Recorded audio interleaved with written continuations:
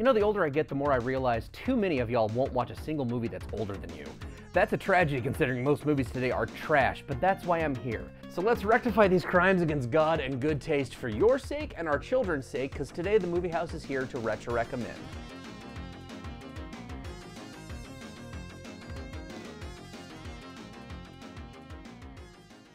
I have a confession to make, something that I've struggled with for years, something that society deems completely tasteless. I, I, uh, I like Pauly Shore movies.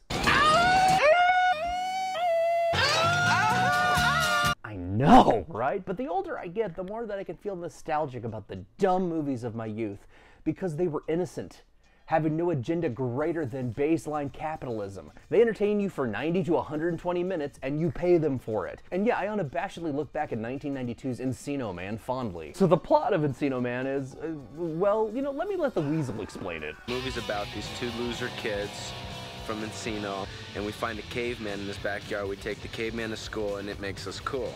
Yes, it's about as scientifically accurate as a creationist historical museum. No, I don't give a shit. Caveman plus weasel plus stupid fat Herbert makes me go laugh. Strangely enough, a movie like this is the reason why I love doing retro recommends. For as much as I, you know, I think I know a movie, I've seen it multiple times.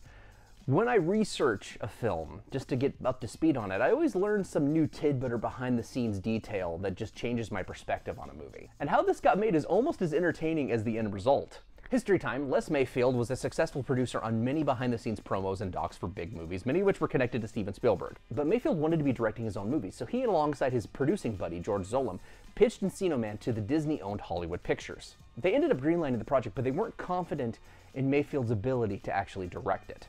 So to prove that he had what it took, he shot a screen test proof of concept of sorts over the span of one day, and thank the internet gods an archive of this exists. This shoot included Ben Stiller and Keith Coogan playing Link and Dave as a favor to Les Mayfield.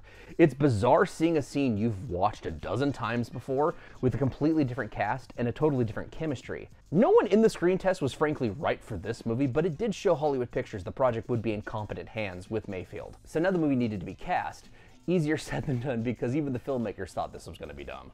This was Brendan Fraser's first leading role. At the time, he wasn't sure playing a caveman in a teen comedy would help his career, thinking he was more of like a serious actor. But he ultimately relented. Sure, he gets a few moments here where he gets to show his dramatic chops with the whole man at a time, everyone you know is long dead thing.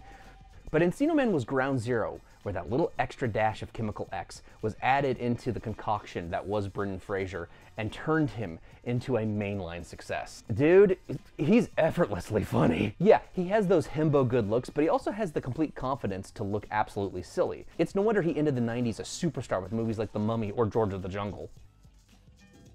Pauly Shore is comedy royalty of sorts. His mother, Mitzi Shore, owned the Comedy Store, the legendary LA nightclub where generations of the best stand up comedians hung out, cut their teeth, perfected their craft, and partied like goddamn animals. Shore worked at the store and was privy to all this wild shit. He started doing stand up himself before even finishing high school, before eventually becoming a popular VJ on MTV. So he was already a known personality, but this shot the weasel into the zeitgeist, buddy. This was his first big Hollywood film. The studio originally wanted him to play Link, but Shore felt that being one of the teens would play to his strengths better better. So they rewrote the original script's Harold into Stony, which is mainly just Shore improvising his way through the entire movie, providing much of the comedy.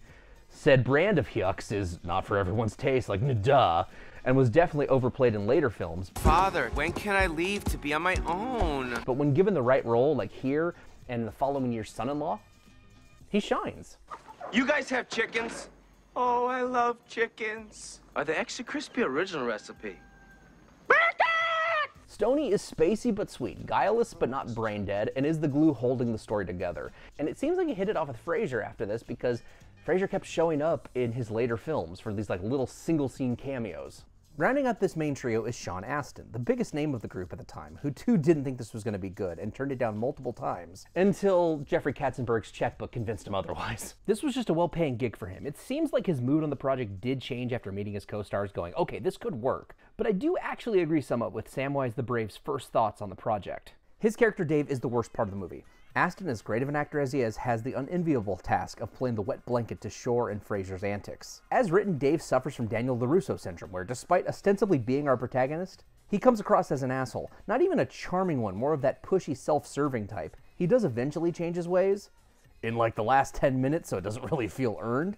Maybe with one more draft, they could have ironed out his character and ended up with a stronger film. The rest of the cast includes the likes of Megan Ward, one year away from co starring in Alex Winter's absolutely insane, gross out schlock masterpiece, Freaked. Then there's Rick Ducommun, Michael DeLuise, Robin Tunney, Rose McGowan, Erick Avari a few years before he and Fraser reunited in The Mummy, and Ke Huy Quan, which is just goddamn silly that this flick can be touted as starring two Oscar winners.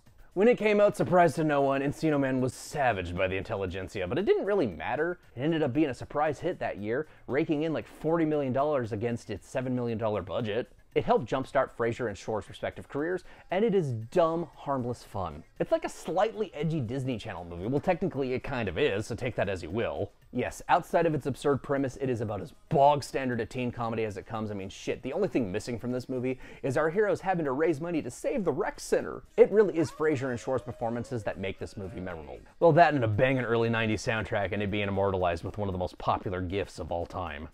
So now that I know about it, I can't help but ponder long into the night that there is somewhere out there in the multiverse some insane, twisted reality where Ben Stiller and Brendan Fraser's careers were swapped. Tugg Speedman in The Mummy, Rick O'Connell is Derek Zoolander, and Tony Perkis is George of the Jungle. Look, I'm not going to pretend that this is great cinema, but it does provide enjoyable, if boneheaded, entertainment, because in the end, Encino Man is still a decent diet movie. But that's enough for me. I'd like to hear your guys' thoughts. Comment, like, subscribe if you want. It'll help me out. But more importantly, until next time, stay safe out there.